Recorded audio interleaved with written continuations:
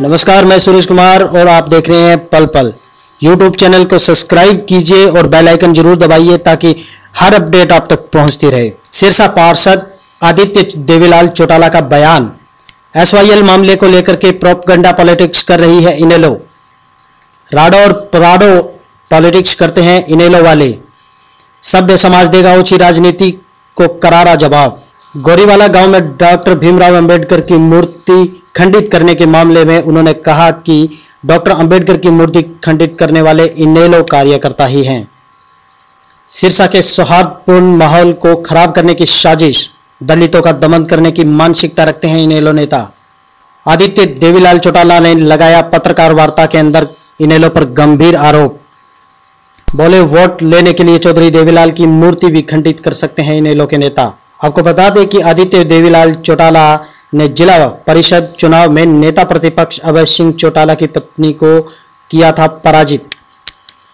आप देख रहे हैं सुरेंद्र भाटिया के साथ अमर सिंह जानी की ये रिपोर्ट। पूर्व प्रधानमंत्री देवीलाल के पुत्र, जिला पार्षद आदित्य देवीलाल चौटाला ने इलेरो और इनसो कार्यकर्ताओं पर बड़ा राजनीतिक हमला बोला है।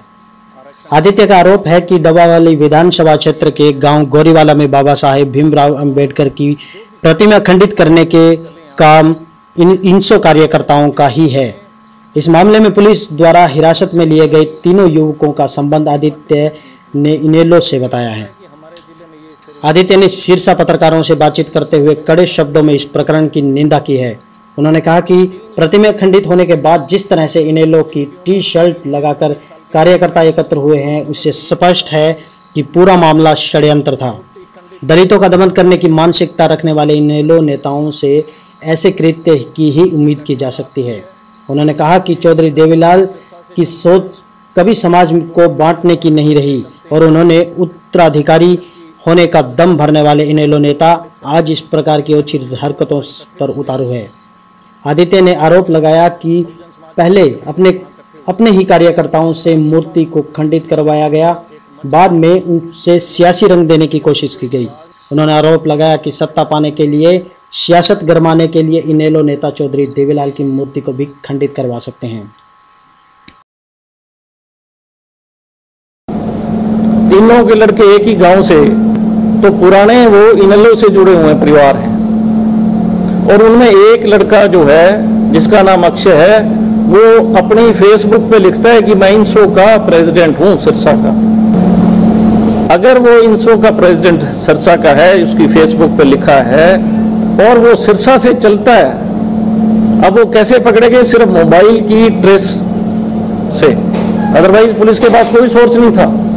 सिर्फ़ मोबाइल की लोकेशनों से ही उन लोगों को पकड़ा गया। अगर यही लोग किसी और राजनीतिक दल से जुड़े होते तो आप अंदाज़ा लगाओ कि किस तरीके की प्रेस कॉन्फ्रेंस होती, किस तरीके के मुजाहरे होते, किस तरीके की डेमोस्ट्रेशन मीडिया के सामने या सरकार के सामने वो करते। और ये अपने आप को चोरी देवीलाल के उत्तराधिकारी जिन्होंने खुद ही घोषित कर रखा है कि हम हैं आप अनुमान लगाओ कितने निम्न स्तर की राजनीति पे ये आगे हैं कि जिस बाबा साहेब अंबेडकर का पूरे साल इन्होंने जयंती बनाई पूरे साल बाबा साहेब के नाम से इन्होंने जयंती बनाई हर ज़िले में जाके बनाई और जब पूरा अपना उनका वो जो कार्यक्रम था वो पूरा हो गया तो ये हाल बाबा साहेब अंबेडकर तो मायावती को प्रधानमंत्री बना रहे हो। कि मायावती हमारी प्रधानमंत्री है तो मायावती तो अंबेडकर जी की सबसे फ़र्स्ट फॉलोअर है। और अंबेडकर के सिद्धांत पर बहुजन समाज पार्टी चल रही है। तो आपका समझौता किससे है? क्या मायावती भी बाबा साहब अंबेडकर को नहीं मानती? अगर मायावती जी बाबा साहब अंबेडकर को मानती है तो इनको मायावती जी से माफ़ी मांगनी चाहिए। बहुजन समाज पार्टी के तमाम कार्यकर्ता एक एक कार्यकर्ता जो घर के अंदर बैठा है, झंडा लगा के जिसके घर, उनके घर जाके इन लोगों को माफ़ी मांगनी चाहिए कि हमारे से गलती होगी। राजनीति मेरे दादा चौधरी देवीलाल जी ने भी की थी। राजनीति चौधरी बंसीलाल जी ने भी की थी। राजनीति चौधरी भजनलाल जी ने की थी। हरियाणा तीन लालों से प्रसिद्ध है।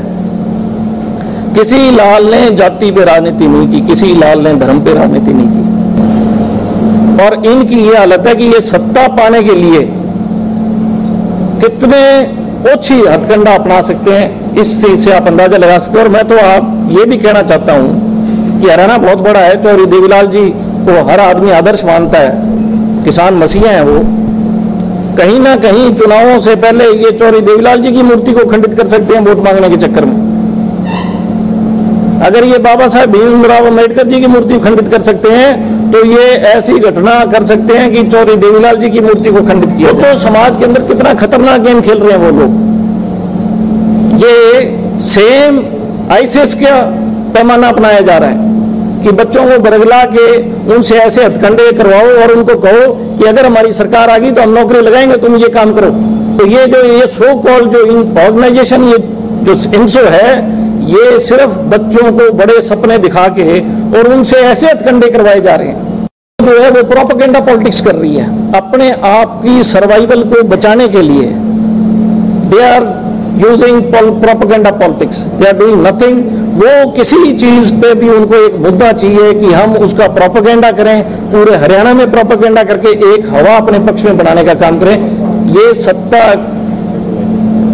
के लालच में अंधे हो चुके हैं। और जो एसवाईएल की बात है, पढ़े लिखे हैं लीडर ऑफ़ अपोजिशन है, कभी ये बयान देते हैं कि हमने बादल परिवार से अपना राजनीतिक संबंध तोड़ दिया। और दो महीने बाद ये बादल परिवार के साथ ही चाय पीते हैं।